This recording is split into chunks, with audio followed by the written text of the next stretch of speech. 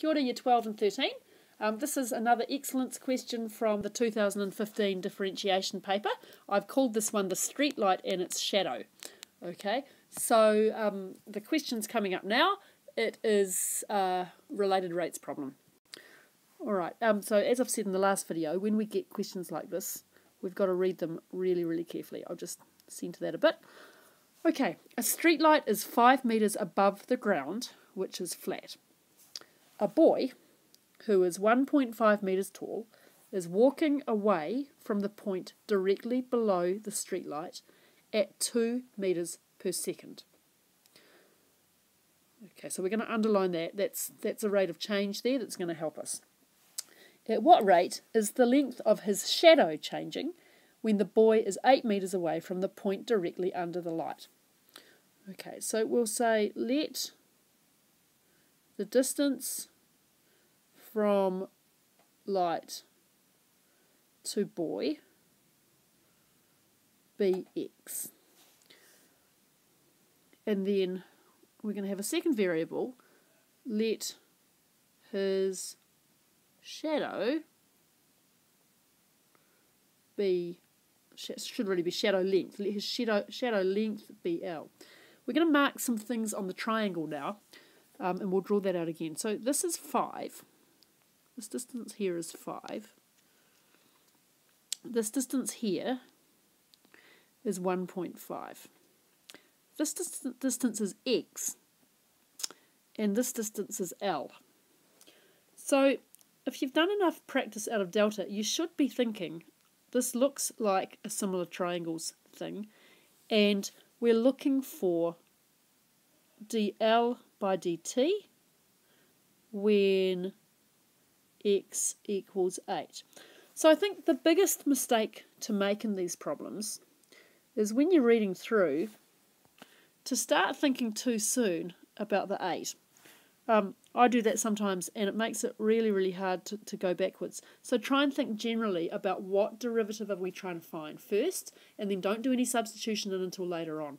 So the derivative we're looking for here is the length of the shadow changing and it's a rate with respect to time. So we're, we're hunting for dl by dt.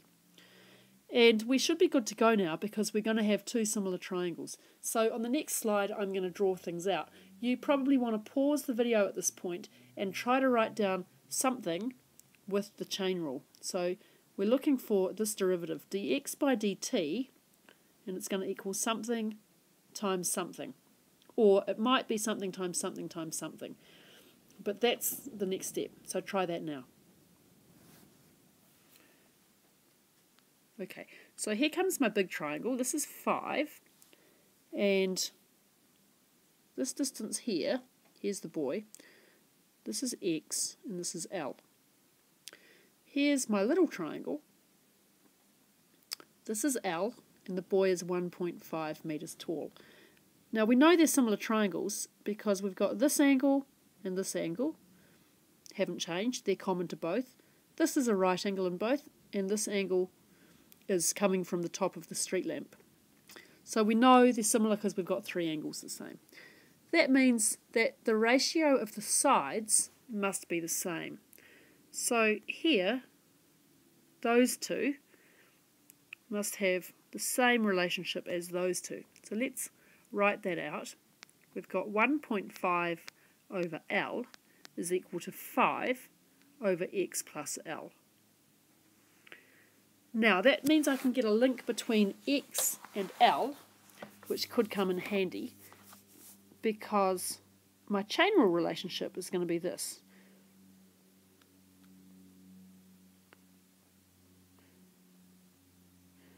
I'm going to put the second derivative in here first. We know dx by dt. This is how quickly the boy is walking away. And so now, to figure out the rate of change of the shadow, L, I want dl by dx. And you can see that we're going to be able to get that pretty soon from the similar triangle relationship.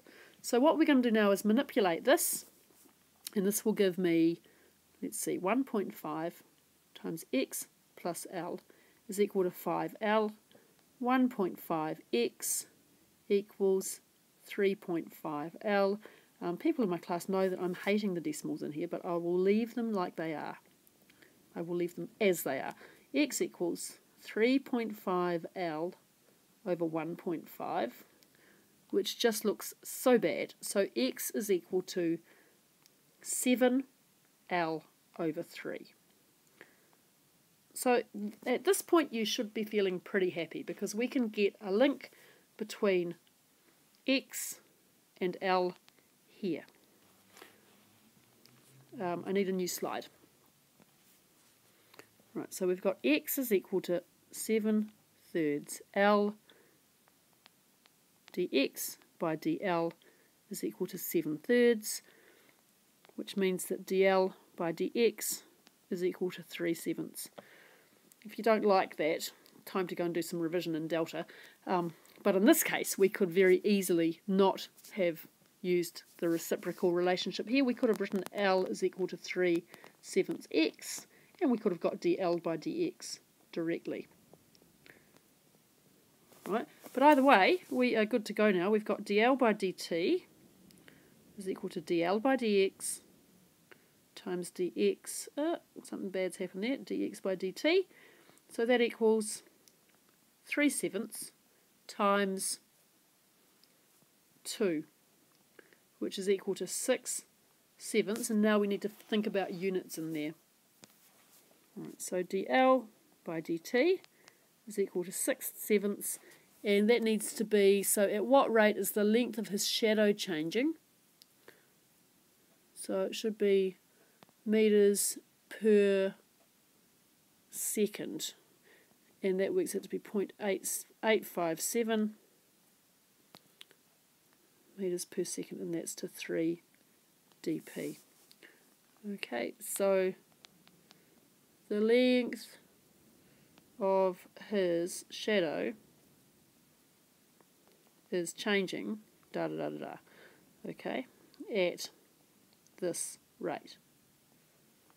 Okay so just notice that in this problem we didn't use x equals 8 anywhere right we just didn't need that the, the length of shadow is changing at a, at a rate that is not affected by how far away he is. Um, and you can see that coming through because of our derivative being dl by dx. So as x changes, for every one unit increase in distance, there is a 3 sevenths of a metre increase in the shadow length. Okay, so it's not affected by how far away he is to start with. Alright, so um, hopefully you're getting the hang of it. It's chain rule over and over and using something to give you a link between the variables. Okay, and in this case the something was similar triangles. Thanks for watching. Sorry this was a bit long. Um, do go back to 14.2 in Delta if you want some harder practice questions that are not quite as hard as the excellence ones.